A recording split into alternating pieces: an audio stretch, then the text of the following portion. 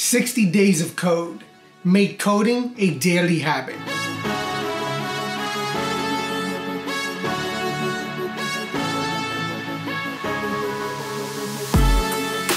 We all have 24 hours within our days, but we use them differently.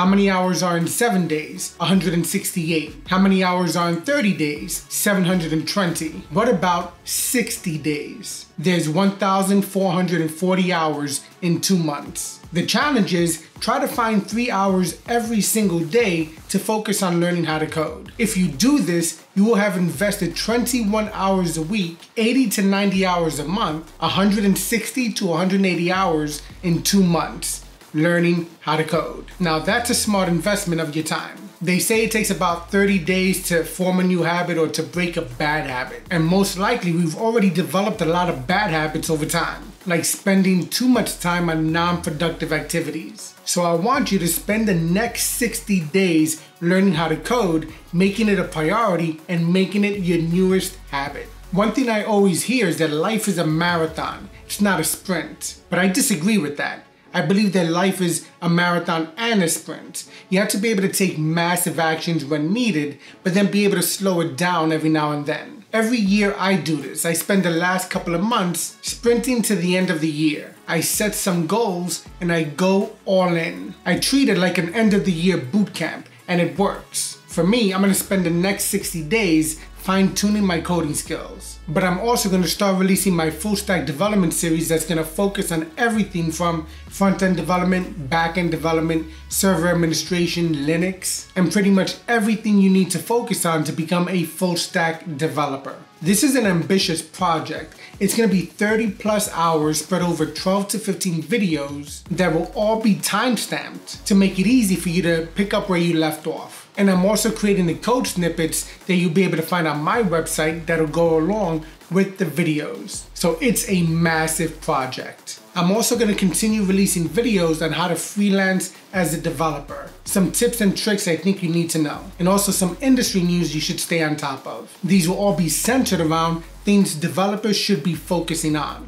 So if you're new here, then definitely subscribe to this channel and hit the notification icon so you won't miss out. But don't wait for my series to come out to get started. There's a bunch of great websites you can check out that'll help you in terms of learning to code. And here on YouTube, there's a lot of great channels as well. The best part, they're all free. Here are five websites to check out. For the front end, check out the Mozilla Developer Network. It's a great resource for learning HTML, CSS, and JavaScript. You could also check out Free Code Camp, which gives you a lot of tutorials on how to learn front-end development as well.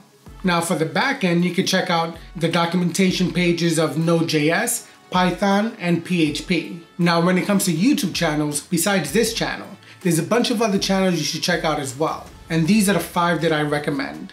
For code tutorials, you should check out MM He has a lot of great videos and you definitely find them very useful.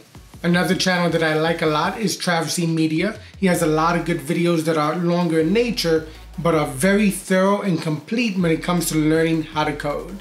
And Free Code Camp also has a great channel here. They have very long videos, but very in depth in terms of the information they provide. And they cover a lot of different topics on the channel.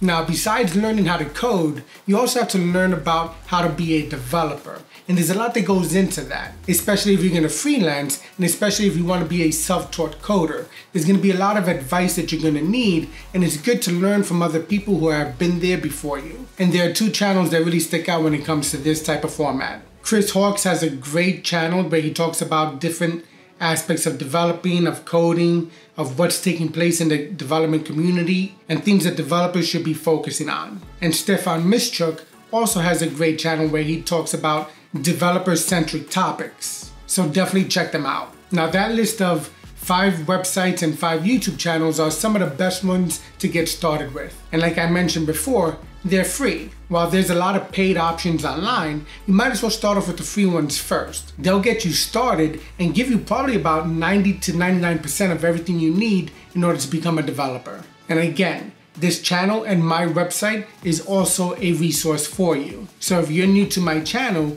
then check out some of the other videos in the upper right hand corner and take a look at the library of videos I have here on YouTube. If you like what you see, then make sure to subscribe and hit that notification bell. And as always, Thanks for watching this video, and I'll see you in the next one. Happy coding.